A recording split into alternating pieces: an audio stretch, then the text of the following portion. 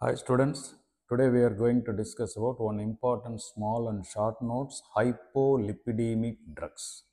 This is very very important question for your both cholesterol metabolism as well as atherosclerosis formation, right? So first you should mention about the name of the hypolipidemic agents. We are classifying into drugs and non-drugs related like aspirin and statin are the drugs which in, decreases the cholesterol level, right?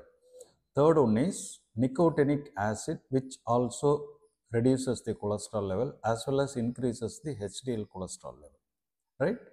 And next one is some resins, right?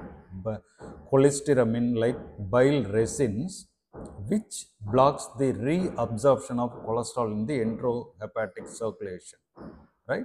Next one is fibrates, clofibrates, uh, sometimes uh, fibrates. They are actually uh, decreasing the production of cholesterol rich VLDL, right? So, fibrates, flow fibrates. And the last one is as usual vitamin E. It is an important antioxidant which also reduces the cholesterol level, right? Now, how the statin reduces the cholesterol level? Actually, the regulatory enzyme for cholesterol biosynthesis is HMG-CoA reductase.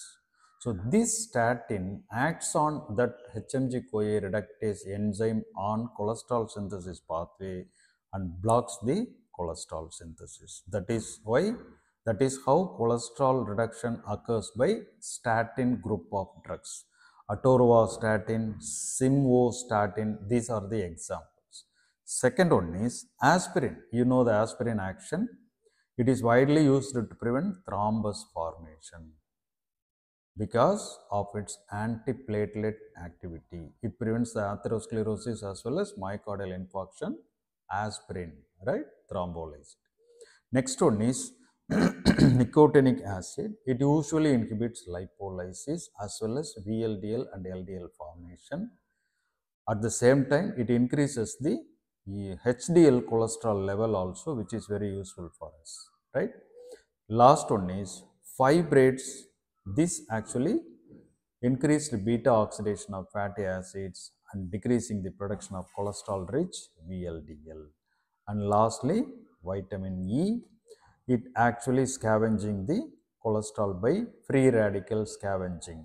That is, antioxidant vitamin will minimize the oxidation of LDL and so atherosclerosis may be reduced. It is a clinical effect for the